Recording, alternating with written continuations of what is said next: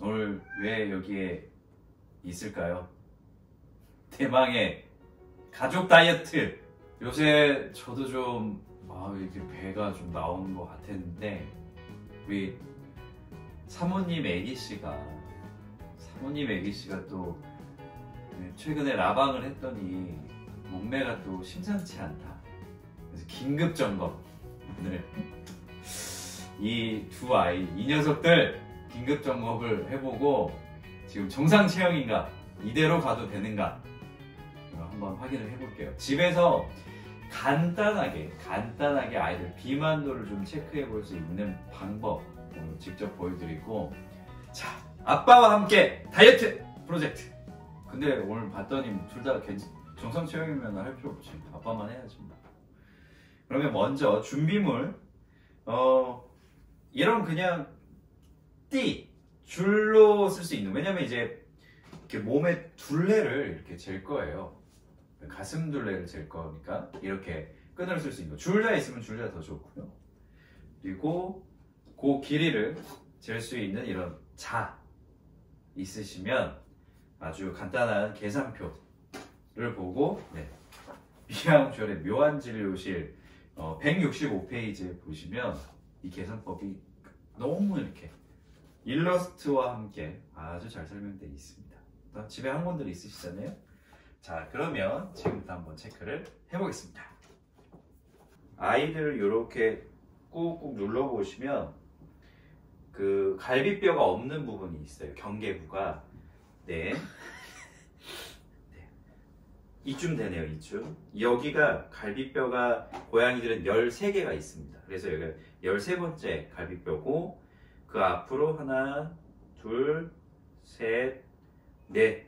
4개가 들어갔는데 거기가 아홉 번째 갈비뼈인데 이게 왜 중요하냐? 여기 가슴 둘레를 잴 거예요. 자, 잠깐만 일어, 일어나 보세요, 선생님. 자, 예. 예.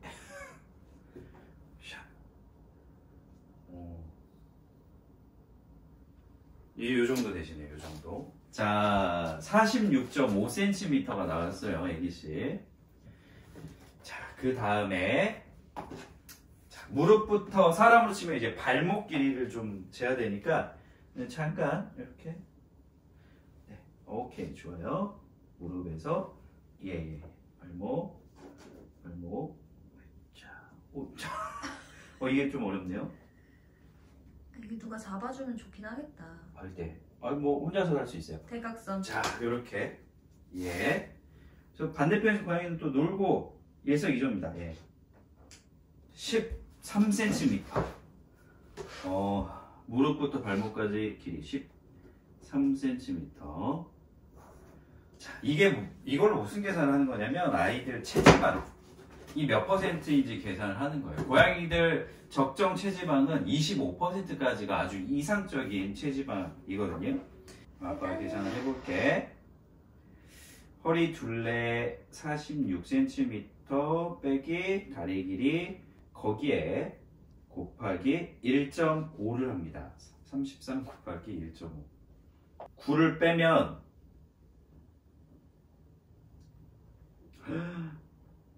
약 40%. 애기 씨가? 애기 씨 말랐는데? 음, 40%면 정상이 16에서 25%. 그러니까 16 이하는 좀 너무 많은 거고 25%까지 정상이에요. 그리고 그냥 요 정도까지는 뭐 다이어트까지 할 필요 없다. 조금 그냥 조절만 된다가 26에서 35%. 근데 위험도가 좀 중간쯤에 와 있다. 아, 이거 심각한데. 심각해요. 왜? 비만이야? 그러면 어, 비만이야. 당장의 체중을 한 10%는 감량을 해야겠네. 두 달에 걸쳐서.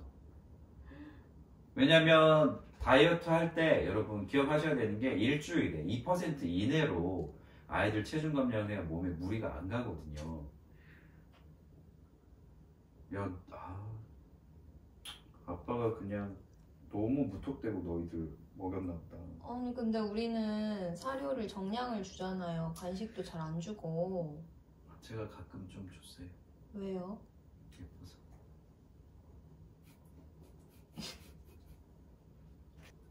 아, 뭐 이제 확실하게 아 제가 다이어트 관리를 진행을 하겠습니다. 10%를 두 달간의 감량을 할 거고요. 오늘 체중도 잴게요. 오늘 체중까지 잴겠습니다. 자, 40% 체지방 애기 씨. 자, 우리 사모님 두꺼워. 벌써 두꺼워. 무릎 무릎부터 발목까지 자, 그러면 계산을 빨리 해보면 36%. 그러면 사모님 같은 경우에는 한 5%만 기준으로 해서 감량을 진행을 하면 될 것 같아요. 자, 결론, 결론부터 말씀드릴게요. 자, 애기 씨는 두 달간 10% 감량을 할 거고요. 사모님은 두 달간 5% 체중 감량을 할 거예요. 당장 오늘 몸무게가 몇 킬로인지 알아야겠죠?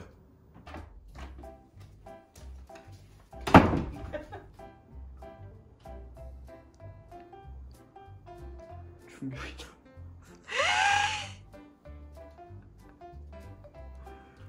지금 우리 집 애들이 문제가 아니에요. 몸무게 조금 나오려고 심지어 반팔 반바지로 갈아입었는데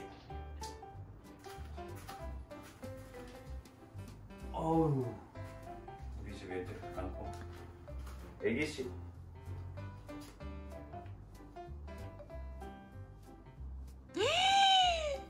오 5kg. 5kg. 자, 애기 씨는 10% 감량해야 되니까 500g. 4.5kg가 먹고요. 알았어.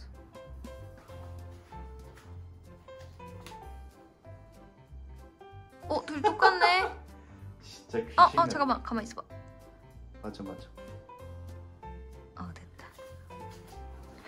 둘이 이렇게 똑같아. 진짜 공평하게 줬구나, 오빠 간식을. 아, 나는 진짜 공 공명정대하게 둘다 찍었어. 아이고. 나도 찍, 가, 나도 먹고 애들도 먹고.